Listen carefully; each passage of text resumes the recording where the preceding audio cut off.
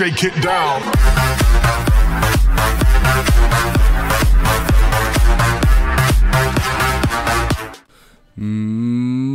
Moin Jungs, da bin ich wieder, euer Zeddy und ich habe ein neues Video für euch am Start und zwar wieder einen Solo Unlimited Money Glitch.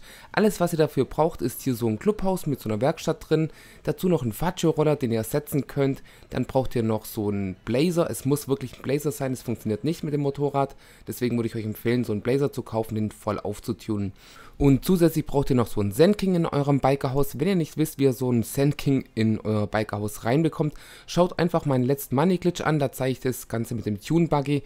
Und mit dieser Methode macht ihr das einfach mit dem Zen King, um das auch ja, in euer Bikehaus, äh, Bikerhaus reinzubekommen. Ich hau einfach mal den Link unten in die Videobeschreibung rein, könnt es auf jeden Fall mal auschecken. So, als allererstes müsst ihr euren Blazer ganz hinten ins Eck reinstellen, weil den müssen wir mit dem Sand King versperren, dass wir nicht mehr aufsteigen können. Das ist ganz wichtig, weil dann teleportiert es euch auf den Blazer und das brauchen wir für den Glitch. Aber wenn alles geklappt hat, dann könnt ihr mal testen, ob es klappt. Wenn ihr Dreieck drückt, müsst ihr eigentlich direkt drauf spawnen. So, und jetzt kommt es wirklich auf Timing an und zwar ihr geht auf den Blazer drauf, haltet die Starttaste gedrückt und lässt sie wieder los und in dem Moment, wo ihr die Starttaste loslässt, müsst ihr R2 zum Gas geben drücken.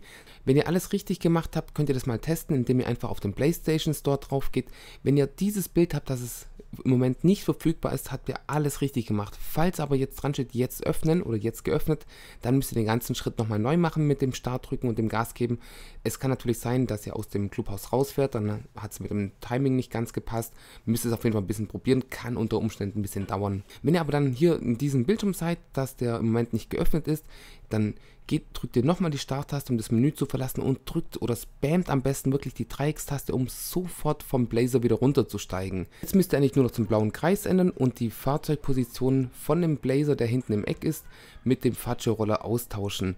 Ihr seht da persönlich nichts, aber links an der Seite, wo die Fahrzeuge aufgelistet werden, dort ändert sich das. Jetzt müsst ihr einfach nur noch wieder hinter zu dem Blazer gehen. So, wenn ihr dann hinten angekommen seid, müsst ihr einfach nur in die Werkstatt reinfahren und irgendetwas ändern. Ich würde euch empfehlen, das Ganze mit einem Nummernschild zu machen, weil es einfach am günstigsten ist. Wenn ihr das dann habt, jetzt müsst ihr einfach nur euer Bikerhaus verlassen, wieder reingehen und wie ihr seht, bams, habt ihr einfach, ja, zwei solche Blazer. Habt den also einmal verdoppelt.